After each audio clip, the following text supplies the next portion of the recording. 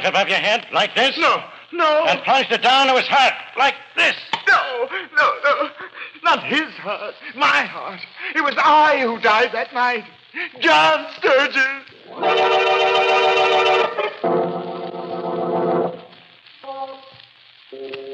Midnight, the witching hour when the night is darkest, our fears the strongest, and our strength at its lowest ebb. Midnight, when the graves gape open and death strikes. How? You'll learn the answer in just a minute in The Mark of Cain.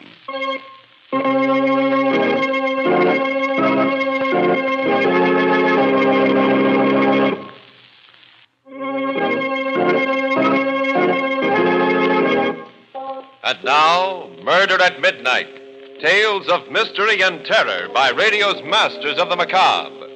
Our story by A.S. Ginnes is The Mark of Cain.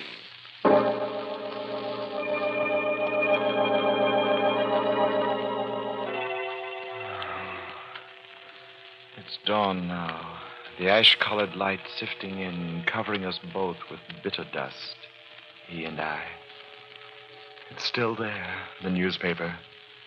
I still haven't read it. And yet I know. How much longer can I fight it off? Not looking. I couldn't be wrong. I could, and. Who, who's there? John, are you awake? It's me, Edith. Let me in. Edith? Oh, just a minute. John, have you seen the morning paper? Paper? What's wrong with you, darling? You've read it, haven't you? No. But you're dressed and awake. Why? Please, Edith. What does it say? What did he do? After you dropped me at my hotel last night, I saw the item. I couldn't sleep. I waited for you to call.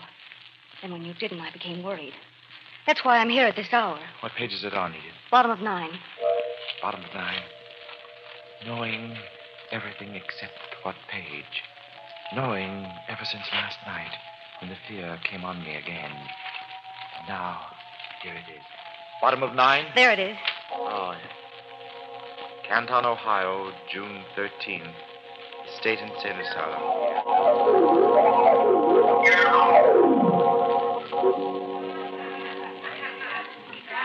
Come on, Sturgis. Be a good boy. No. Get back in your room like the others. No. You like me, don't you? No. I never hit you like the other gods. Who makes those noises in my head? You. You make crazy noises in my ears when I'm sleeping. You do. You know you do. Uh, Sturgis, I, I'll give you anything you want. Uh, two helpings of pudding tomorrow. Wouldn't you like that? No. I want to get out of here. I'm no loony. I want to get out. You will, Sturgis, you will. Now you'd better get back in your room. For years you've been saying I'd get out of here. But this time I'm really going. This time Stand back, gonna Sturgis. stop me. Don't come near me. Stand back! Why? Why? I'm no loony. I won't hurt you. Help! Uh, oh, no, you don't. Don't make noises. Didn't ask you. Don't make noises. I just want you to keep quiet. That's all. Me. Quiet. I just want you to keep quiet. That's all. There. See? Nice and quiet. Shut up! You crazy bunch of loonies! Shut up!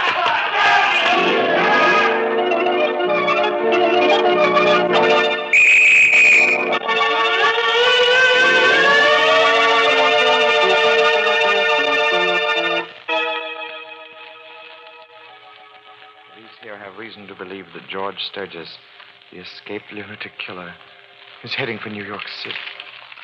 John, perhaps it's all for the best. This may be his end, and then. What are you thinking, John? That's an interesting question, Edith. What am I thinking? Am I thinking about George or about myself? It's hard to tell, isn't it? Because now we know, don't we? There's a lot more to being an identical twin than just flesh and blood. We have proof of that now, haven't we? And now we know, beyond the shadow of a doubt, that I'm a drama critic and he's a lunatic, only by the grace of God. Darling, you've got to stop that. If you begin to slip back into your old fears, you're lost. Edith, dear, I, I'm going to see Stillman. Stillman, what for? Because, my dear, an editor is a little like God. At least he can give me the assignment I want. A police reporter's assignment. John, To cover the case of the dangerous lunatic, George Sturgis, my brother. You're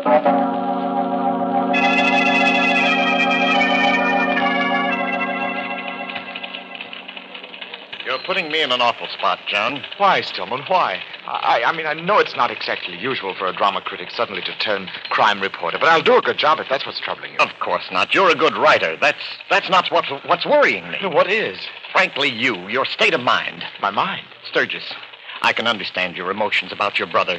Being identical twins, it's no surprise that you're suffering from a sense of guilt about his actions. But, well, darn it, man, do you have to work it off in this particular way? Tracking him down, bringing him into justice? What'll it do to you? No more than it's already done. Okay, Sturgis. You're a grown man, and I'm no psychiatrist. Have it your way. I'll tell the city editor. Thank you very much. Uh, just one thing. Mm-hmm. For my sake, keep talking this thing over with Edith as you go along.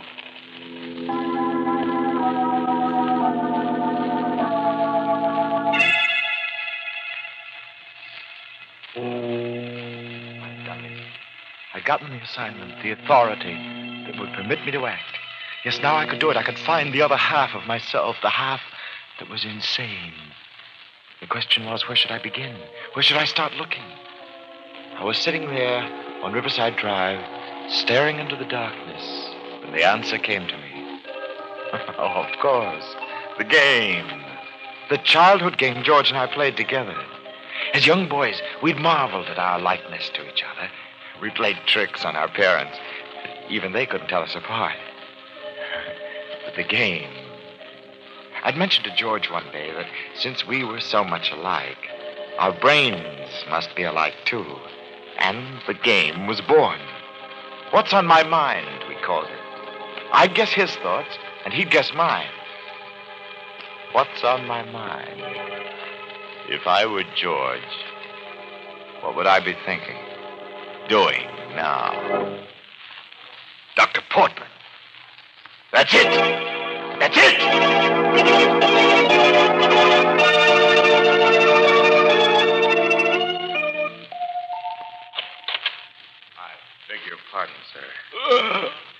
Woke me up. What time is it and who are you? It's almost midnight, and uh, my name's Sturgis. John Sturgis. You're Dr. Portman, aren't you? Yes, come inside.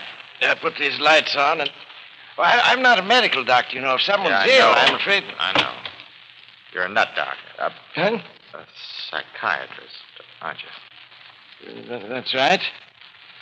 Uh, sit down. Ah, sorry. Now, uh, what can I do for you? I came to see you about my brother. I think you know him. You said your name is. Uh... Sturgis. John Sturgis. Oh, the drama critic. Yeah. I don't think we've ever met before. Unless. Uh, are you originally from Ohio, Mr. Sturgis? Yeah. Oh. Then you don't mean that you're any relation to. Uh, to George Sturgis? Yeah, I'm a relation. You sent him away to the nut house when you practiced in Ohio. Yes, yes, I recall.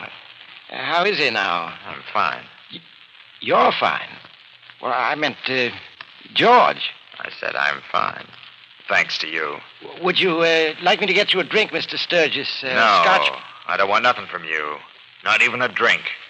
I just came to pay my respects, Dr. Portman. My respects. No. Put that razor away. Put it down, do you Sure. hear? Like this. No! And this. Your tongue set me away. Your tongue ruined my life. Your tongue talked in my head when I was sleeping.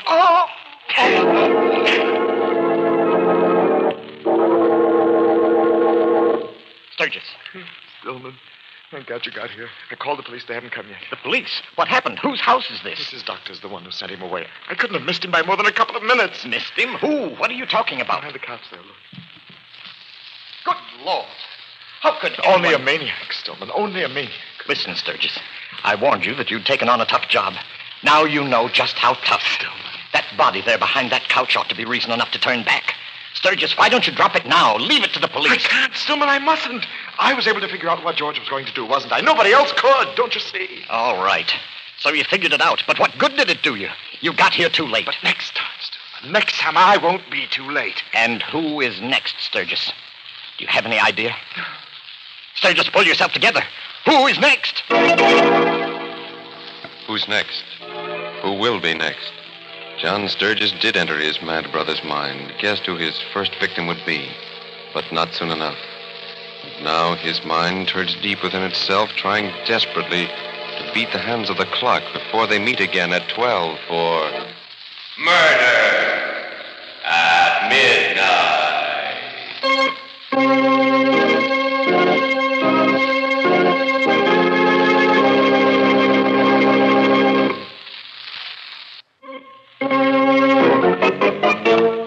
And now back to Murder at Midnight and The Mark of Cain. Who's next? I didn't sleep that night. Could you, with a question like that on your mind? And I didn't rest all that next day. Who's next? Who? Trying every minute to get inside George's mind and think the way he would. And then, that next night, I thought I had the answer.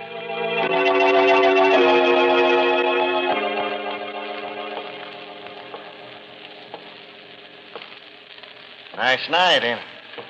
Yes. Yes, it is, officer. You uh, live in this house? Well, no. That is Waiting for a friend? my brother. Oh. Hope you didn't mind my asking. This is my beat. I noticed you loitering in front of this house for the past two hours. Well, you know how a cop gets kind of suspicious at four o'clock in the morning. Yeah, of course. Oh, I think I'd better move on. Guess my brother's not going to show up after all. Yeah. Probably catching up with some drinks he missed earlier. Well, good night, officer. Good night, sir. I hadn't lied to that policeman. I had been waiting for George. Waiting in front of Edith's building. Because I knew that she was asleep. Asleep and unaware that she was next. But, why am I leaving this way? Why am I abandoning her? Because a suspicious cop came along? What if George does? I've got to go back. Don't you?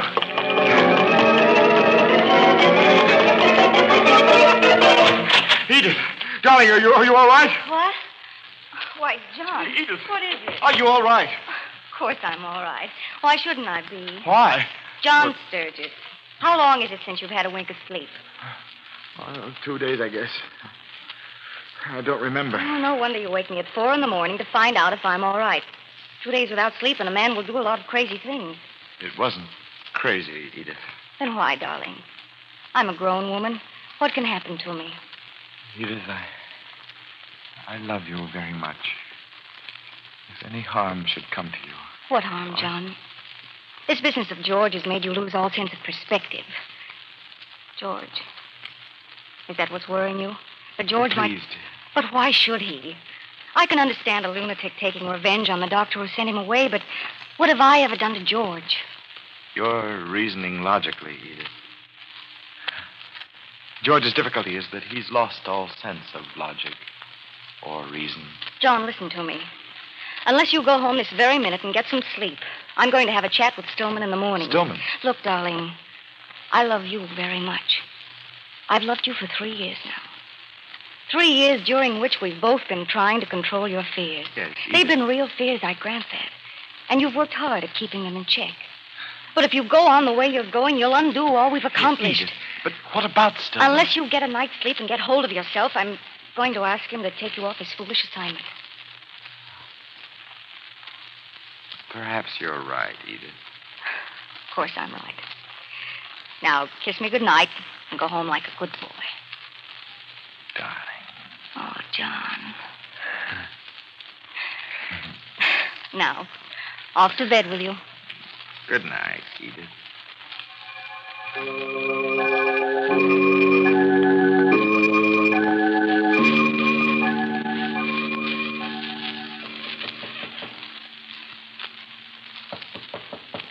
Mm. Oh, who's there? Here me. John? Yeah. Oh, just a moment.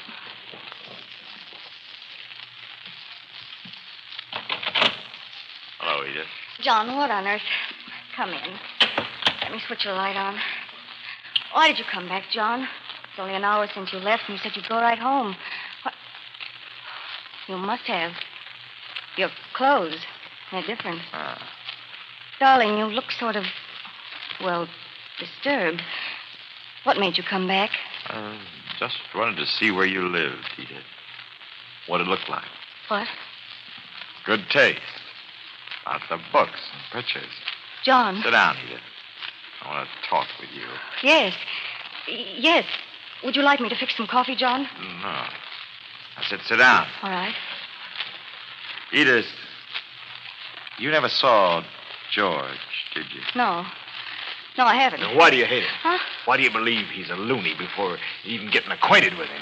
Huh? I- Why did you try to come between two brothers? What huh? makes you think that? Two brothers rode each other for a long time, even though a quack called Portman sent one away to the nut house. I, I'd like to get some cigarettes over on that Ah. corner table if you don't mind. I do mind.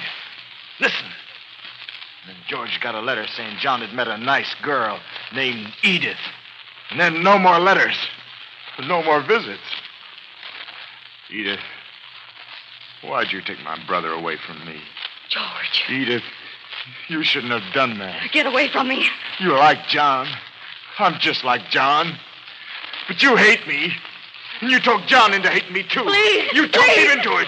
John wouldn't have done any Oh, razor. You What talked him into it. Like No. this. No, don't. Don't. Stop.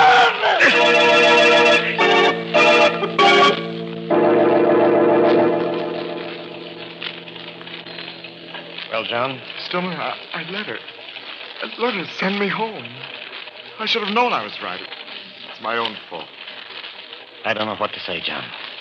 Dr. Portman, now Edith.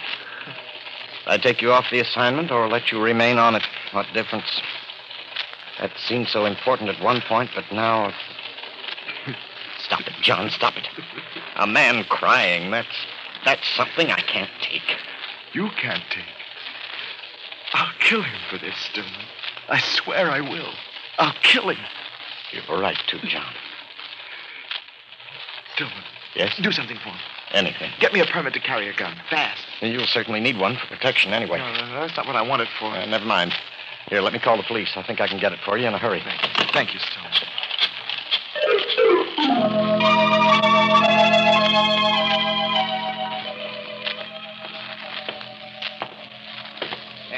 On your mind, mister? Is uh, Lieutenant Rogan here? Uh, who wants him? Um, Mr. Stillman of the Times Herald called about a gun permit, and Lieutenant Rogan suggested that I come on down. Uh, my name's Sturgis. Oh, Mr. Sturgis. Yes, sir. The lieutenant's waiting for you. Uh, right through that door, sir. You'll find him. Lieutenant Rogan? Yes, Mr. Sturgis. Come right in. Sit down, won't you? Uh, gun Mr. Sturgis, uh, you're the brother of George Sturgis, aren't you? Yes, I am. I just thought I'd ask you a question or two about him while you were here. You're uh, quite certain George committed those two murders, aren't you? Yes, quite. You mind uh, stepping into the next room with me, Mr. Sturgis? No. right in there. There's uh, something in here, Mr. Sturgis. I'd like you to see. Yes, sir. Does this concern my gun permit, or are you still on the subject of Now, my right through here, Mr. Sturgis. Why is it so cold in here? What is this place? Oh, for our own purposes, Mr. Sturgis, we maintain a kind of private little morgue down Morgue? here. Our business is never very brisk. Most we keep here is two, maybe three bodies for special work. Uh, naturally, these drawers are all refrigerated. Mr. Sturgis, pull this one out. Here. I don't understand. Why should you Okay, if you won't, I will. Take a good look. You ought to recognize this corpse. Huh?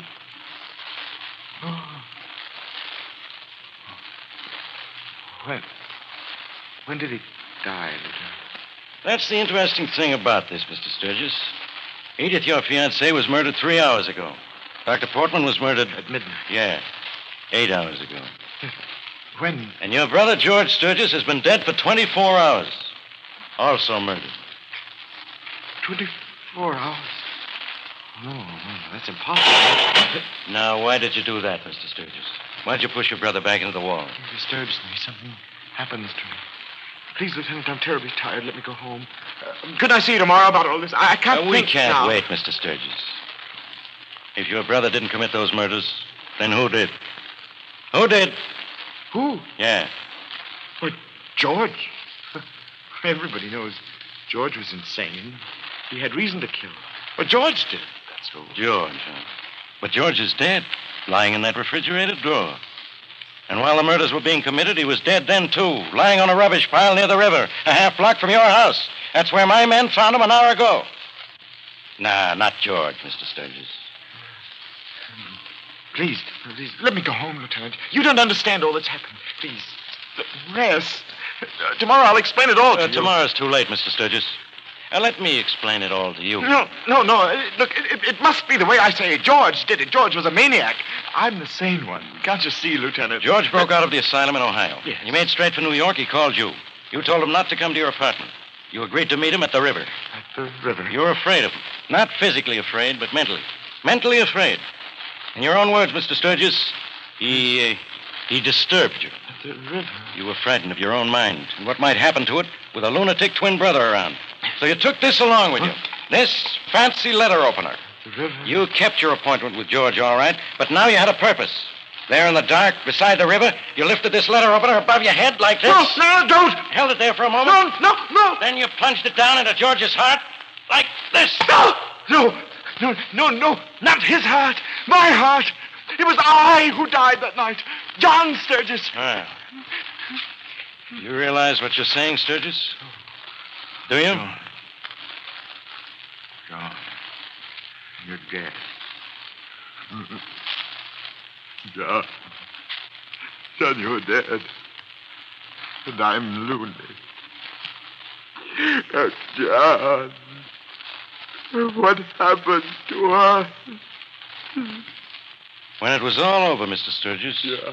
when you thought that you'd finally rid yourself of George forever, a strange thing happened. You became George, and the man in the rubbish pile was John. John. Well, maybe it's easier for you to take it that, Mr. Sturgis. Now that you're George, the crazy one, you can forgive yourself a lot of things, can't you? Like murdering your fiancée, and the doctor, and your own brother. No. Take me back. John is dead. Take me back, please. Please. That we can do, Mr. Sturgis. Uh. Come on. Uh. We got a nice, comfortable room for you. A room uh. just like the one your brother broke out of.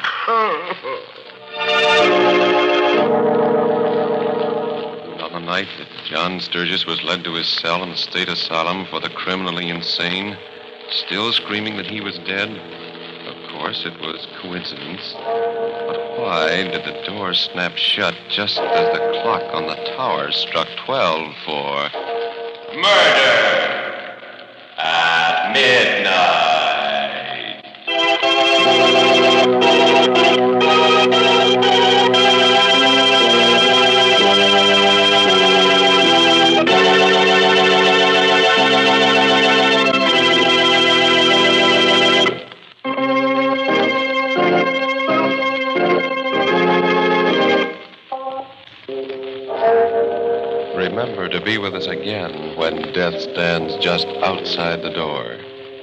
a strangely familiar face, and the clocks strike 12 for murder at midnight.